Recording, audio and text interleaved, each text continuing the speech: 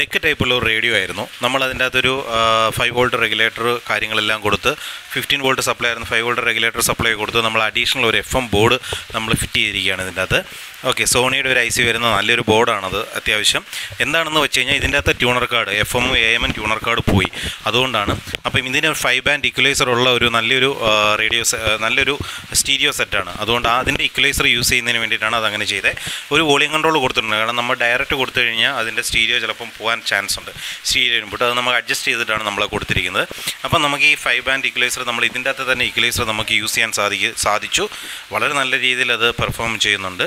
Okay. ഇതൊരു ഒരു എന്താ പറയുന്ന ഒരു നല്ലൊരു റേഡിയോ ആയിരുന്നു. അതുകൊണ്ടാണ് അങ്ങനെ റിക്കവർ ചെയ്തത്.